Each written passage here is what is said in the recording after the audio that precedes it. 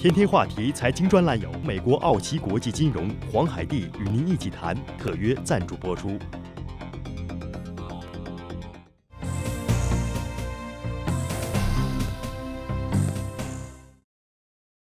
各位好，欢迎收看本期的《天天话题之财经专栏》。在今天节目当中呢，我们继续为您邀请到的是我们的老朋友特许财务规划师黄海迪女士。黄女士，非常欢迎您。艾妮，你好。黄女士啊，其实我们今天又谈到了一个之前我们这个谈过很多次的这样的一个题目啊，但是确实是很多这个朋友非常关心的这样的一个话题哦。嗯。您觉得这个近几年来，我们知道说，在美国越来越多的这个新移民选择呢，把自己的这个家落户在美国。您觉得现在来看的话，对于很多这些新移民进入到美国之后，对美国这个整体的经济有一个什么样的影响呢？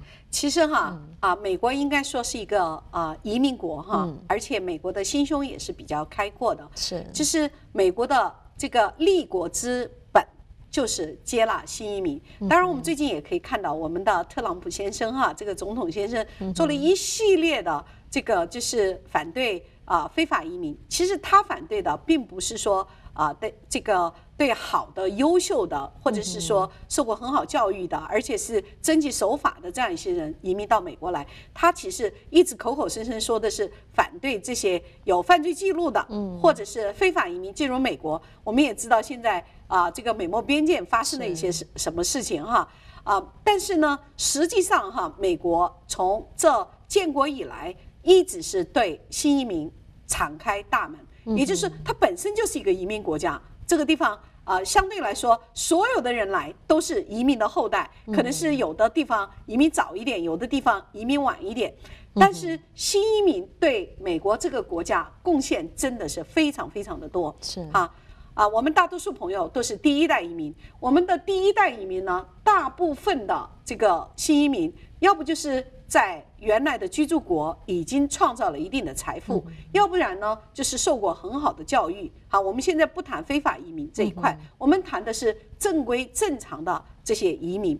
那这些移民呢，要么就是带来了资金，给美国带来啊这个新的资金进来，或者说啊这个财产进来，因为他们是新移民，他们要这个落地，他们要生根，所以他们要买房子，他们要送子女去。啊，这个上学，他们要购买很多很多的安家的这样所需要的一些啊物品，所以在这个美国的整个这个呃消费市场里面，新移民的消费是非常强的。嗯，啊，当然我们也可以看得到很多这个。呃，或者说 luxury 的这些呃商品市场里面，我们会经常看到新移民的生意，对对，主力军。但实际上呢，除了在这些高档商品以外，哈，我刚才说啊，这个房子哈，包括这个投资产品，包括保险，哈，包括这个其他的一些基金，甚至包括这个私立学校，嗯，啊，都有看到新移民。那这一代新移民呢，给我们美国带来了很多的这个。啊，可以说是收入。嗯哼。可是我们的第二代移民呢，我们更可以看到，因为啊，新移民是非常注重第二代的这个呃教育的。其实不仅仅是华人，其他主义在第二代里面，你们也可以看得到很多是非常优秀的。嗯。第二代，因为他们生在美国，长在美国，他们已经没有语言的障碍，而且他们的思维方式已经是啊，跟美国人。非常的接近的，但他们同时又有他原来原生家庭的这样一些文化，所以第二代移民呢，其实在美国是可以看到是非常的优秀的。我们可以在这个呃硅谷，就是三号 C 这些大的这个企业里面，不管是 Google 啊，或者是其他的 eBay，甚至还有很多其他的公司里面，在高管里面，你都可以看到第二代的新移民。我刚才讲了，这些新移民不仅仅是华人，也包括其他主义。嗯，所以这些人呢，他们在美国起着一个中间的力量，非常的优秀，因为他们受过教育，他们又非常的勤奋，然后他们又懂得这个呃，除了美国以外其他国家的文化，所以呢，这样就把这样一个呃国家，美国这样一个先进发达的国家和其他主义呢紧密的联系在一起。嗯，对，是是，您讲的这个非常的好。是，那其实我们每一次谈到这个新移民有关这个在呃做好自己这个财务规划的时候，我知道之前您也是一直在强调，并不是说等到你人已经进入美国了再开始想这件事情。是，实际上最好的这样的一个计划是在移民之前就做好，是不是？是，在移民之前呢，我们要做一些财务规划，因为毕竟呢，美国的税收制度和你自己所在的这个国家的税收制度可能会有一些不一样。我们举一个非常简单的例子哈，就是如果我们是在中国呢，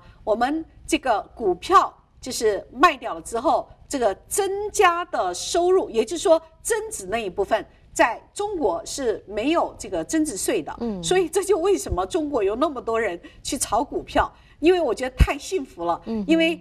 这个在股票上面，你要是赚了钱，你不用交税的，只交一小部分，很少很少的印花税。那当然，我前一段时间在跟一个朋友聊的时候，我说你们太幸福了，这个炒股票不用交税，美国是要交税的，啊，如果股票在手上后的时间。低于十二个月，我们是要交收入所得税。嗯，如果是超过十二个月呢，我们是要交 capital gain，就是资本利得税的。总而言之是要交税。是。可是也有朋友跟我说，那我们虽然是不交税，可是我们都没赚到钱啊。好，不管怎么样，也就是说，如果在移民之前，我们刚才讲到，假设你手上是厚了很多的股票，而且这些股票呢又已经赚了很多钱了。那这个时候，你可能要考虑在移民之前，在登陆之前把它卖出去，因为这个时候你卖出去，你没有资本利得税，也没有收入所得税，在这个你原来的国家。可是如果等到你登陆之后，你变成美国人了之后，你再去卖这些股票，因为美国是属人主义的，它是全球课税的。你如果是拿了绿卡。那全球你都要交税，所以这个时候你再去卖股票呢，那你可能是就不划算，哎，就不划算了。嗯，所以这是啊我讲的一种情况，还有一种情况呢，就是可能有些资产本来这些资产就不是在你自己名下，因为我们很多在原有的国家呢，可能它会有一些就是做人头 hold 住这些资产的，就是自己其实这些资产可能不是你自己的，比如是你的父母的，或者。或者是是你的子女的，那么这种情况下呢，那你在移民之前，你一定要把这些资产在这个进行重新的规划，回到这些啊，就是真正的这些资产的所有人的处理好，要处理好，因为你到了美国之后，你再来说哦，这些资产不是我的，你已经没有办法说清了。嗯，再还有一点就是，我们碰到很多种很多种情况。就是我们来到美国之后呢，我们在登录的时候，或者是我们在向啊这个国税局 IRS 报的时候，我们说哦，我们没有多少资产，我们可能就只有一百万啊美金或者两百万美金。但是到了美国之后，他很快就买了一个五百万的房子，甚至我们还有一个客人买了一个一千万的房子。那这个时候国税局就会来问你，那你这个钱是从哪里来的？对，是，所以在。登陆之前，移民之前，相应的一些税务规划是要做好的。不仅仅是税务规划，那我们还有一些情况是家里的这个规划也要做好。常常呢是移民了，但是我们还在原来的国家赚钱，所以人还在经常的飞来飞去。现在呢，其实跑卡已经非常困难，因为在进入到这个。美国的时候，他一直会问你：你如果都长期住在原来的国家，那你为什么还需要这张绿卡？是是，所以这些规划也是要做好才可以的。其实是这个里面，所以这个华人朋友千万不要有这个方面的一些误区啊，因为毕竟这个美国也是这个万税之国，千万不要觉得说等到带进来了再说哈。是是是非常感谢黄女士。那我们先休息下这段广告，广告过后呢，我们再来继续今天的天天话题，不要离开。天天话题财经专栏由美国奥奇国际金融黄海地与您一起谈特约赞助播出。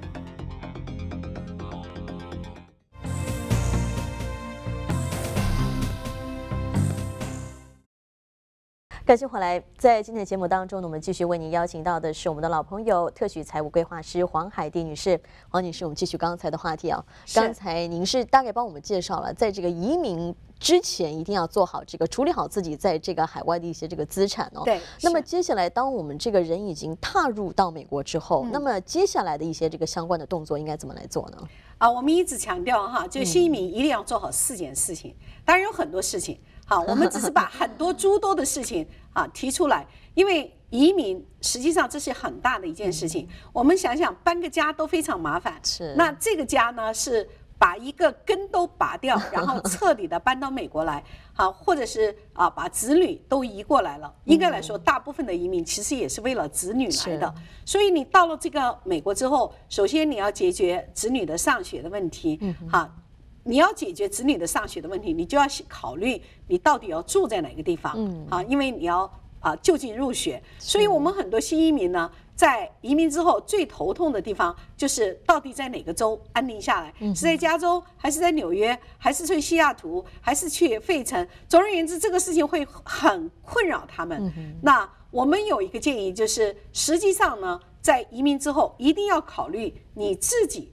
到底准备住在哪个地方？嗯，好，子女呢要不要考虑？要考虑。可是我们华人有一个特点，就是跟着子女跑。啊，子女去哪里了，他就到哪里。但是这些子女其实是非常不喜欢家长跟着的哈。那但是呢，啊，我们华人这个习惯，我们还是要尊重。所以我们来到美国之后呢，首先要考虑的就是房地产，也就是说要买房子。我们华人还有一个特点，就是没有一个房子呢就没有安全感，所以一定会买房子的。所以在购买房子这个过程当中，一定要咨询专业人士，哈，而且有很多注意事项，就是学区啊，这是要注意的。那这一次呢，我们洛杉矶哈这个呃大火烧了两个多星期，那烧掉九千多栋房子，所以你在购买房子的时候也要看看这个房子是不是在 brush area。嗯，那在山火比较容易着火的地方，那你要考虑第一，保险买不到，或者是这个很少保险公司提供这个保险在那个区域，好，或者是呢，这个呃，就是发生问题比较大，啊，这是在加州。那当然还有一些州呢，可能有龙卷风，或者是有洪水，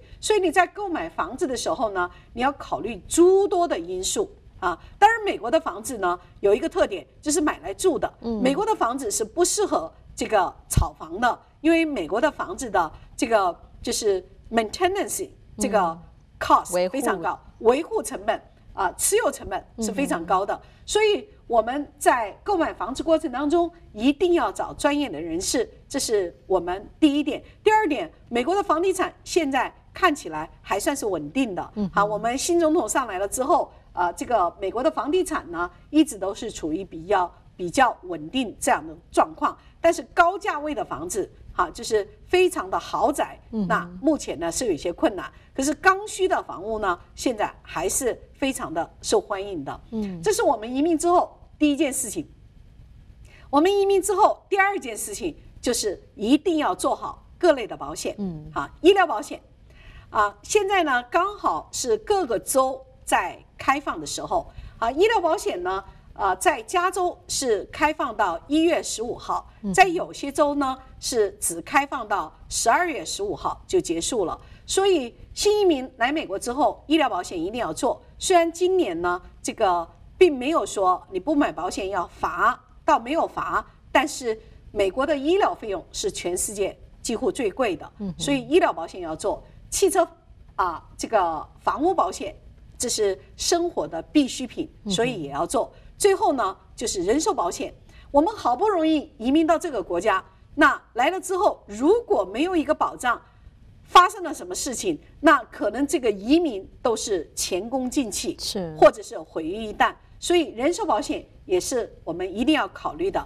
再加上美国的人寿保险又是全世界最便宜的，而且呢种类又是最多的，再加上。美国的人寿保险的赔付是没有收入所得税，也没有资本利得税，设计得当，也没有遗产税。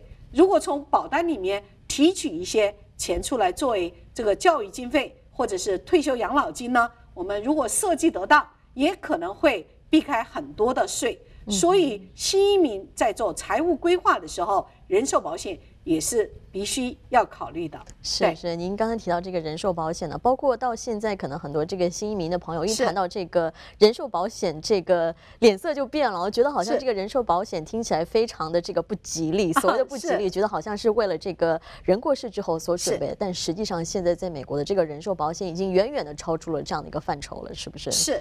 现在美国的人寿保险，第一，它有这个现金价值积累的功能；第二呢，现在很多。保险公司推出来的人寿保险，还有重大疾病、慢性疾病，哈，或者说绝症这样一些生前福利都有的。那这些好处就是，因为我们是新移民，那来到美国之后，我们可能要为将来自己所有的这个生活都要做一个准备啊。我们华人有一句话叫“养儿防老”，这句话现在是行不通的。第一个，我们养不了多少儿子，哈，啊，这个女儿啊也养不了几个，哈，这个成本很高。第二，第二个呢，现在的孩子他们有他们自己的生活。在美国，老人不是儿女的，老人是社会的。嗯，所以我们在将来一定要给自己安排好退休以后的生活。那人寿保险，特别是有这个多功能的重大疾病、慢性疾病、绝症这样的身健福利的人寿保险，更是我们应该考虑。再接下来，更重要的一点就是来到美国之后。一定要做好税务规划，嗯，好，因为什么呢？我们来了之后，很多人说啊，我们在美国没有收入，所以我们不需要报税。在美国来了之后，一定要建立一个完整的、这个诚实的报税的这样一个系统，嗯，因为只有你在报税之后，美国很多福利你才能够享受。比如说，我们要申请这个呃 Social Security 的这个红蓝卡，也就是联邦的医疗保险，六十五岁。包括六十五岁以上，就六十五岁以上，包括六十五岁的人，只要你在美国有公民或者是绿卡五年以上的人，你都可以申请这个 Social Sec Social Security，也就是联邦的这个红蓝卡，就是住院的和看医生的这个保险。但是因为你如果在美国没有报十年的税，也就是没有挣满这四十个点，就是这。啊，这个我们叫做工作点。嗯，那你可能在申请这个红蓝卡的时候，一部分的保费就是啊，这个住院的这一部分啊，Part A 这一部分的保费呢，你要自己出的。嗯，所以现在大概是四百多块钱一个月，可你不知道十年、二十年之后这个部分的保费到底是多少。我记得我刚来美国的时候，一个月只要八十多块钱，嗯，现在已经要四百多块。那过十年，说不定要一千多块，对，所以一定要报税。报税，我刚才讲了，要享受联邦的医疗保险的时候，你要有十年的报税记录，你才能够啊不交这个保费。当然，Part B 部分那是每一个人都要交的。那因为那部分的保费相对来说比较便宜。还有就是这个退休金，那美国的这个 Social Security 虽然说一直在说呃入不敷出，可是我相信美国政府这一块。他会想办法解决的。那当然，现在谣言是说到二零三零年啊，这个 Social Security 就 bankruptcy 了。但是目前绝大部分的美国人是依靠 Social Security benefit 来生活的。那这一部分也是一样，你需要报税，而且要报税报税十年以上。所以来到美国建立这样一个呃完整的报税系统。对新移民来说是非常重要的。嗯，是是是，今天非常感谢黄女士跟我们分享了这么多好的资讯。那同时也呢，非常感谢各位的收看，我们下期同一时间再见。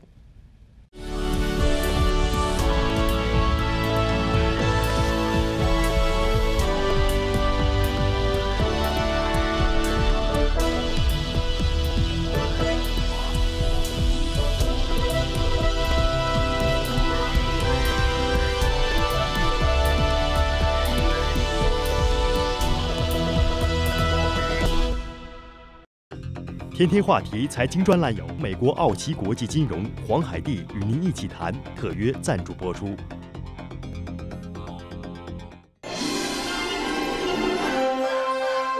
您正在收看的是凤凰卫视。